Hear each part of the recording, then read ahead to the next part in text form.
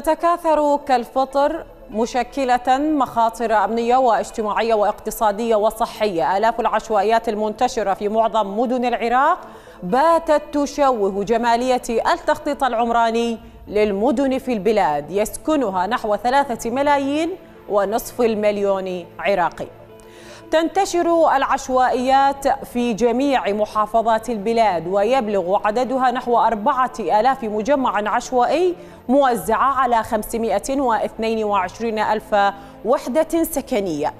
نالت العاصمة بغداد الحصة الأكبر منها بواقع ألف مجمع عشوائي تليها محافظة البصرة أغنى مدن العالم بالنفط. ب 700 مجمع وبالعدد ذاته تأتي محافظة نينوى.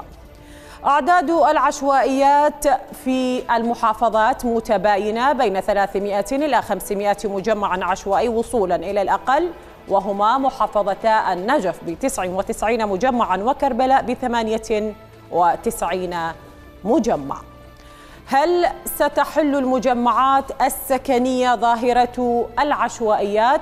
سؤال يجيب عنه الخبراء بالنفي لأن تلك المجمعات غير مصممة لذوي الدخول المحدود الذي ألجأهم الفقر إلى العشوائيات إنما لذوي الدخول المتوسطة والعالية. وهي تحتاج إلى قروض من المصارف التجارية وتنطوي على شروط صعبة.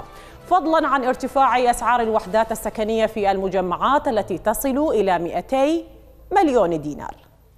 حل مشكلة العشوائيات كما تشير وزارة التخطيط يكمن بخطة شاملة. تشترك بتنفيذها جهات متعددة. أبرزها البرلمان الذي يشرع قانونا للإجراءات التنفيذية ومن ثم تنفذ الخطة بالتعاون مع برنامج الأمم المتحدة للمستوطنات البشرية.